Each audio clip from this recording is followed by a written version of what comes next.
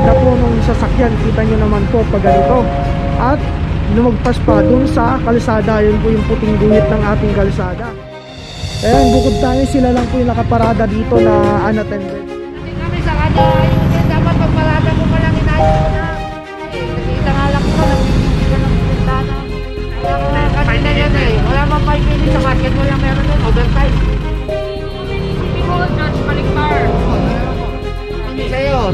Sagot mo, hindi ko kilala.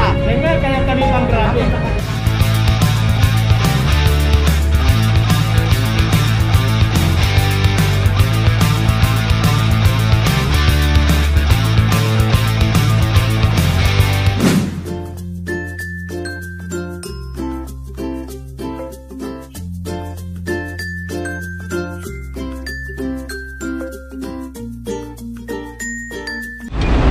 Eh, kayo sa Bad Santos.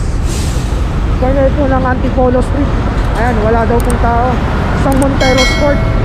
Mitsubishi. Remain po, pangalawang ikot po natin to. Ah, time check po muna tayo. Ayan, 12.43. Remain po, April 19, 2021. At ayan po, nilalagyan na po ng club. Malapit po sa LBC ng ah, Jose Abad Santos. Para makasiguro po tayo, ayan, silipin din po natin. Okay. Ayan. Klarong klaro po mga ano. At saka yung pagkakaparada po nung sasakyan, kita nyo naman po pag ganito. At lumagpas pa dun sa kalsada, yun po yung puting guhit ng ating kalsada. Na kung sana po ay maaari po nilang iparada na padiretso dito. Chinese yung mayari. Yan, balik po tayo, ayan po. Dapat ganito po yung pagkakaparada, diretso. Pabalagbag po eh. Tapos, pag bangketa po, 2 to 3 meters away. Ulitin ko po, 2 to 3 meters away sa kalsada.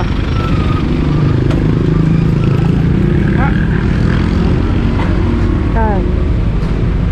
Once again, Jose Abad Santos, corner po ng Antipolo Street, Montero Sport.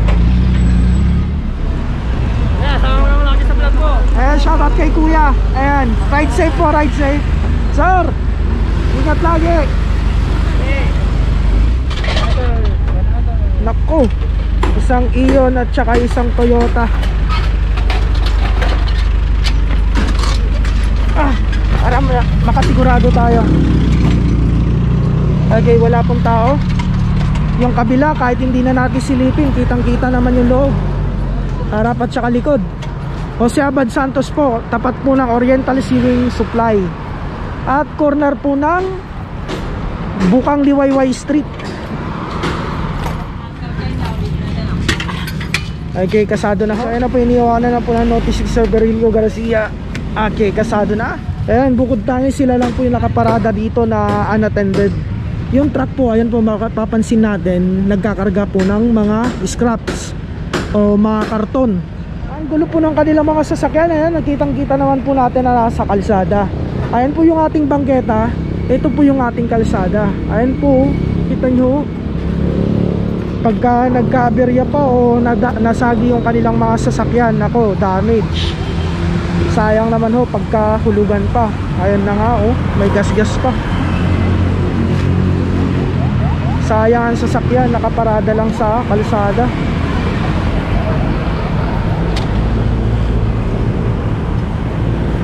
okay ayan na kasado na po parehas sa sasakyan let's go okay Okay, isa lang na sasakyan. May tao, may tao. Nasa bangketa po isa. Pag wala pong tao yan, makaklam. Yung tatlong sasakyan po dun sa gilid. Ayan po, makakaligtas po yan kasi nasa sagad naman ho. At saka 2 to 3 meters away, gaya nga po ng sabi ko. Yung isang sasakyan lang po na kulay itim ang malalagyan ng clamp. Ah. Ayan, pinalis na lang po si kuya. Isang Suzuki, kulay itim, nasa kalsada. Nasa pedestrian crossing pa yata. Yun. Pasok sa pedestrian crossing. Suzuki Zias. Ayan po yung buong angulo. Unattended. Illegally parked po sa kalsada. Malapit po sa Barangay 235, Zone 22, District 2, Manila.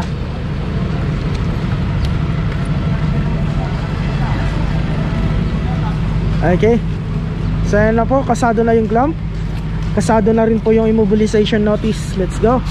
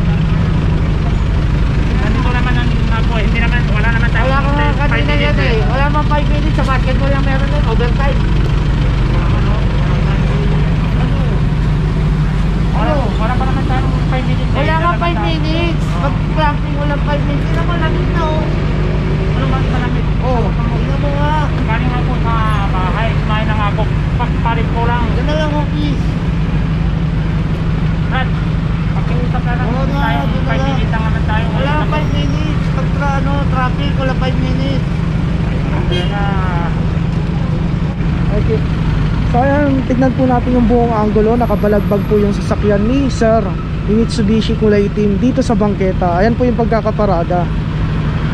Okay. Kung sinagad po niya dun sa gilid, nakadiretso, hindi po nakabalagbag, pasok po sana. Pagbibigyan po sana si Kuya. Also pinipilit po ni Kuya yung 5 minutes. Tanging sa MMD lamang po ang nagpapatupad ng 5 minutes. Yan. Picture pa po si Kuya.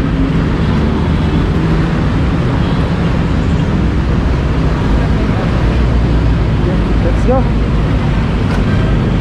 Ayan po, yung uh, pagkakaparada ni Kuya. Alright. Ayan po, yung buong anggulo.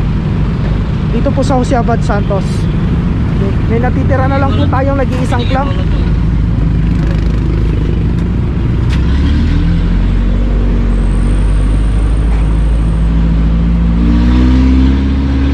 Wala, wala yung mga naka ano dito. oh. Palagi. Dito pinaparada eh.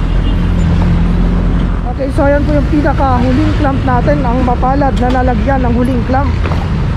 Nakabalagbag din, hindi pa man din po tayo nakakalayo dun sa isang sasakyan ng Chinese.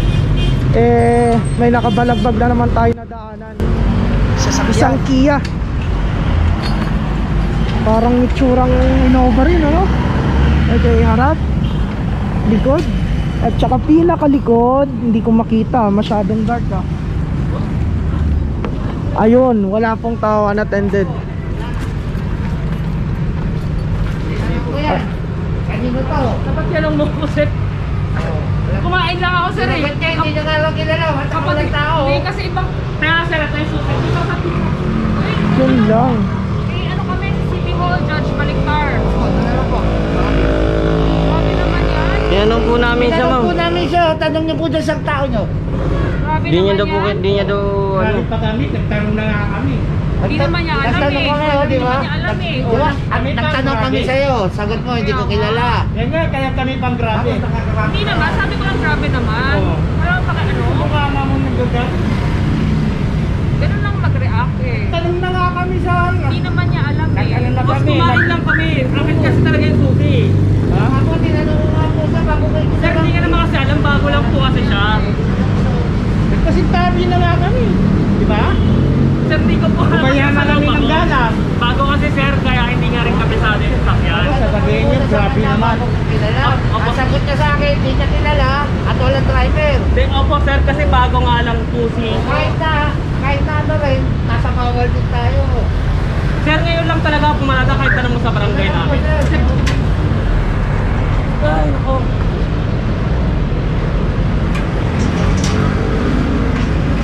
Sir, baka pwede pag-usapan na po natin o kaya bayaran ko na lang.